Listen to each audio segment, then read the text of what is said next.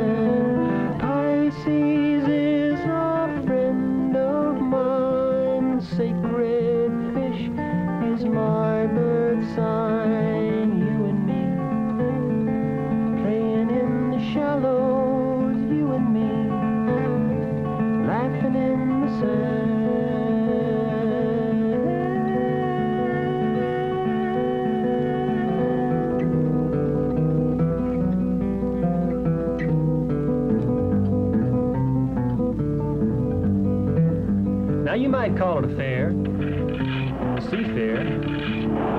Some call it a festival. Florida folks call it a fish fry. But let's just call it good times. Good times.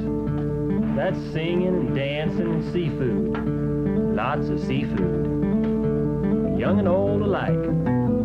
Y'all come. Y'all come.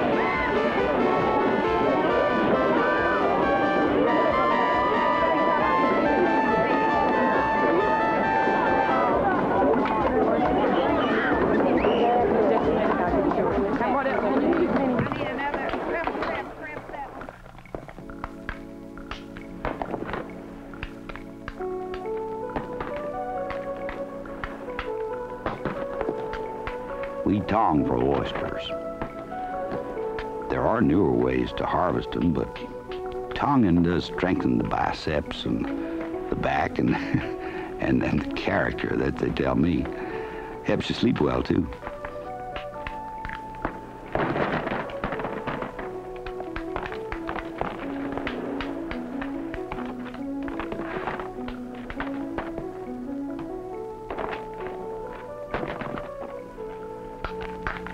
Now, young oysters attach themselves to old shells, so sometimes you gotta whack 'em to sort 'em. There's only one thing better for you than farming oysters, and that's eating 'em. Keeps you young.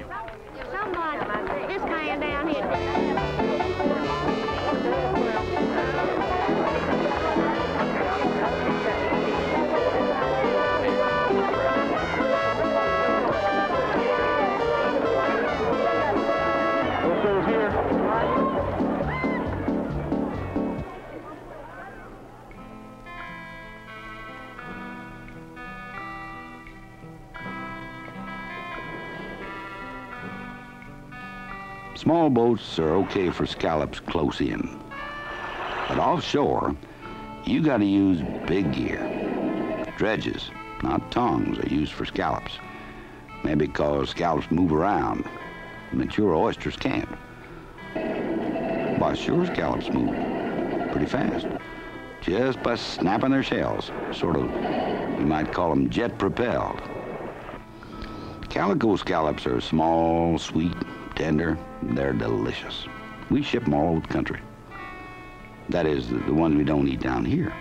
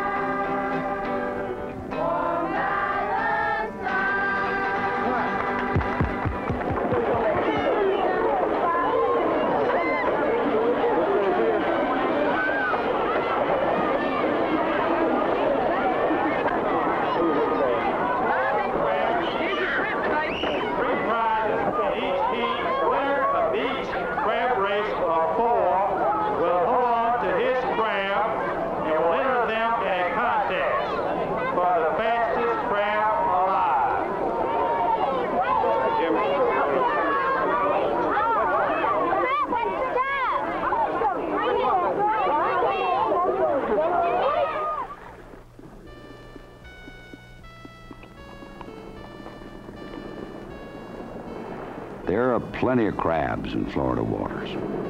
We use traps to catch them, and the little ones we throw back. That's the law. To make a living, you got to haul and set about uh, about 200 traps a day.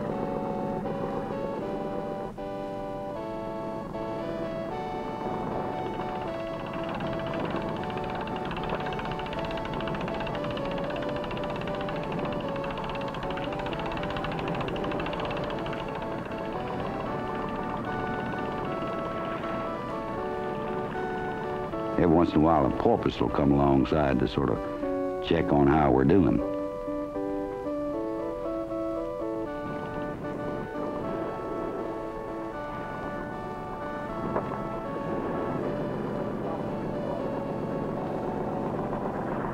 Almost all the stone crabs in the States are landed in Florida.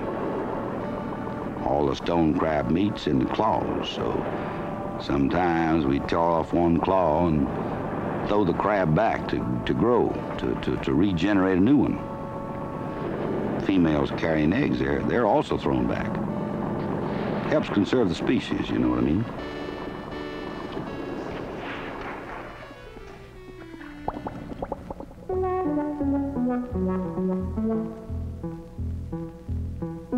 We take blue crabs in Florida too. They have meat in their bodies as well as in their claws.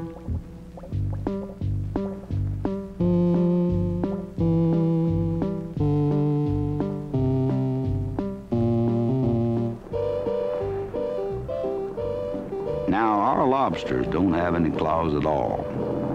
We take lobsters in traps and market them as Florida lobsters. Actually, they're not lobsters, they're crawfish. You get them when you order lobster tails.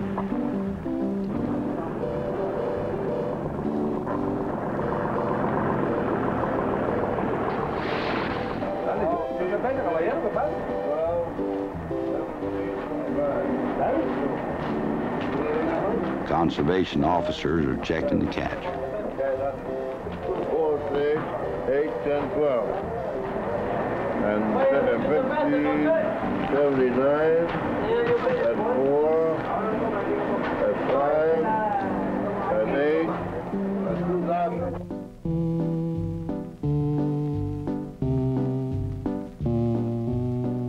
Now, here's a real delicacy. Pompano. Pompano are landed mainly in Florida. You know what we call them? Goldfish. Then there's mullet. More and more people are beginning to discover how good they are.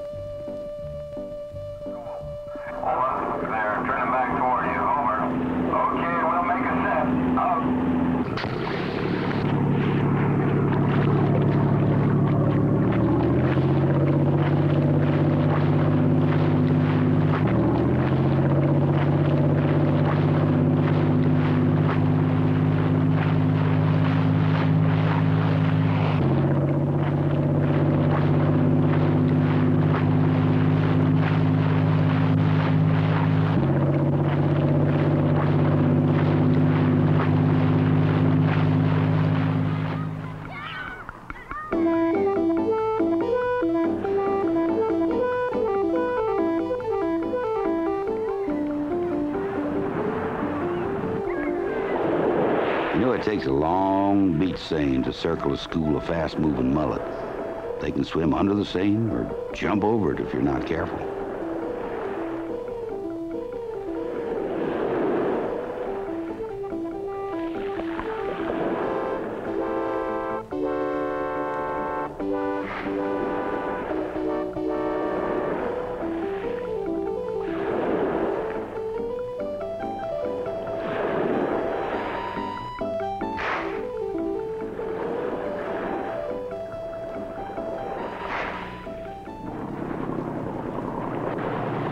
Catch mackerel about the same way we catch mullet.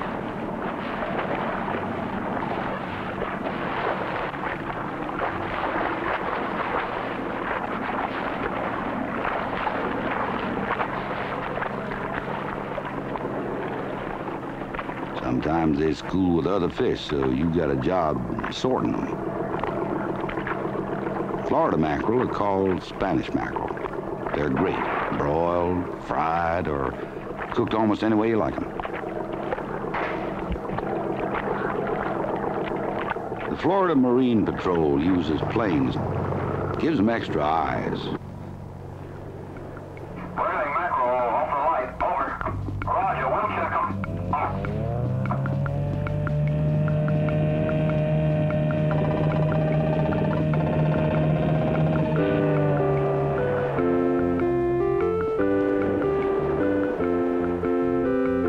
Conservation officers check licenses and catches and, well, keeps us honest.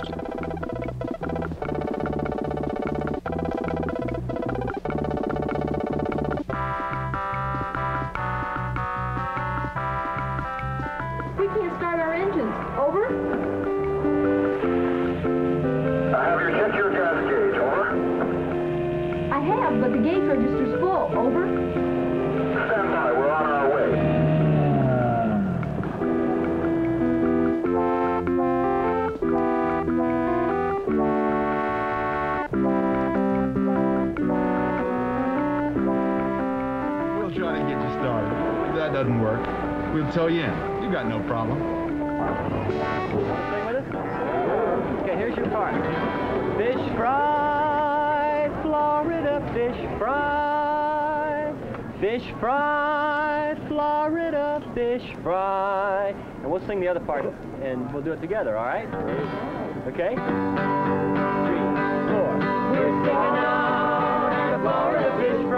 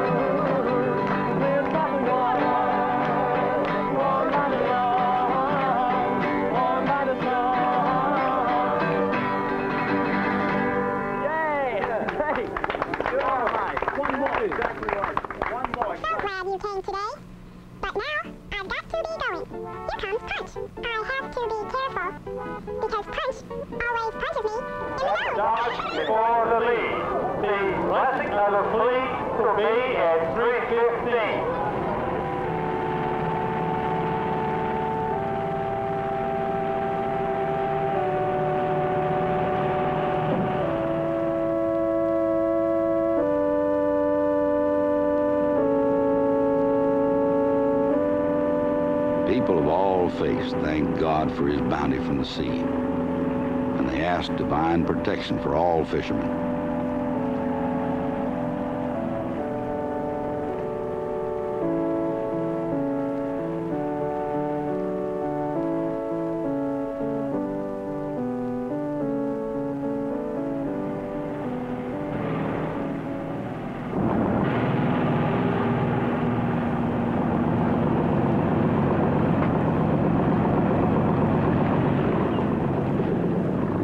Everybody likes shrimp. We use an otter trawl to get them. It's a large bag of net, and it's held open by otter doors. We just drag the trawl over the bottom and scoop the shrimp into the open net.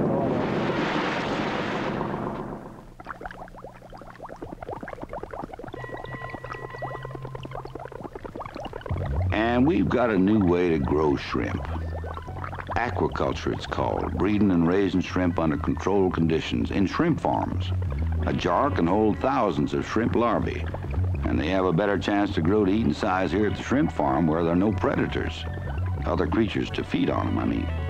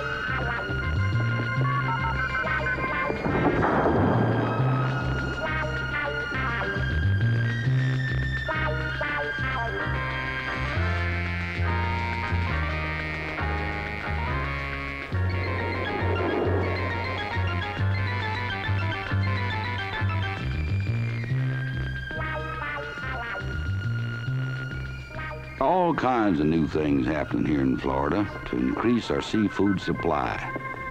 We use movie and television cameras on a sled. It's like having divers down there at the bottom. Helps find new places to go fishing. Fishing for calico scallops, for instance.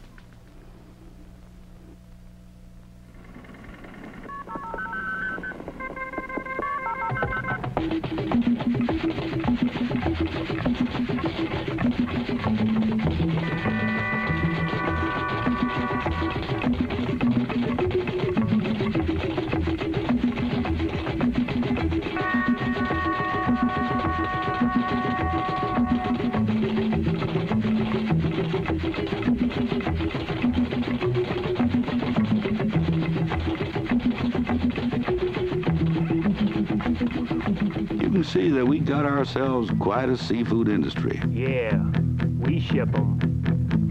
Fresh, frozen, smoked, and breaded. Every day. To Keokuk, Denver, Phoenix, and Sioux City, Iowa. Now they're ready at your market, ready for your table, easy to prepare. They're caught in Florida yesterday, buy 'em anywhere today.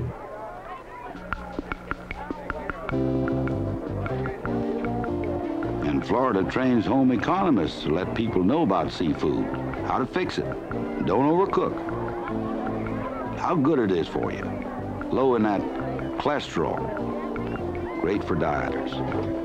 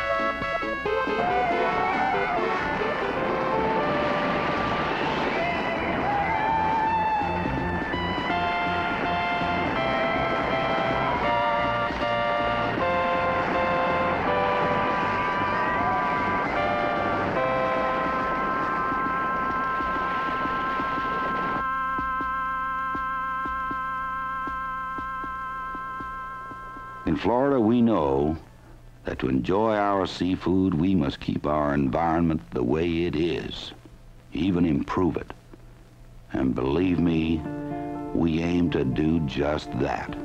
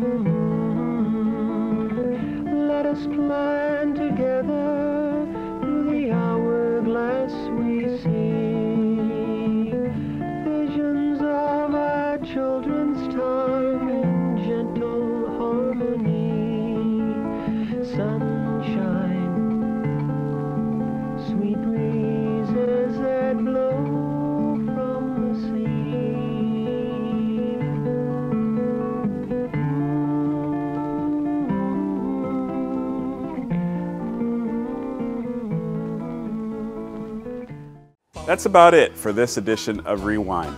Just time to remind you that Rewind features historical film and video from the Lynn and Louis Wolfson II Florida Moving Image Archives.